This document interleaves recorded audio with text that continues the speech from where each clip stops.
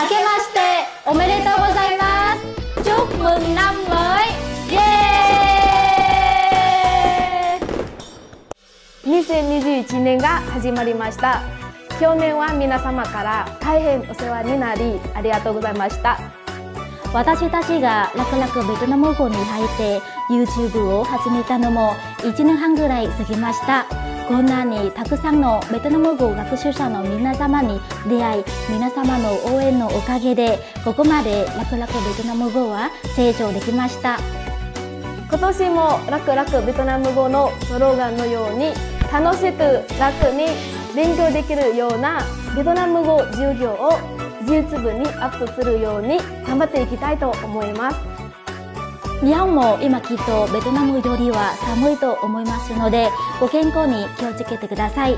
ちなみにハノイでは今17度です。ベトナム人にとっては超寒いです。はい。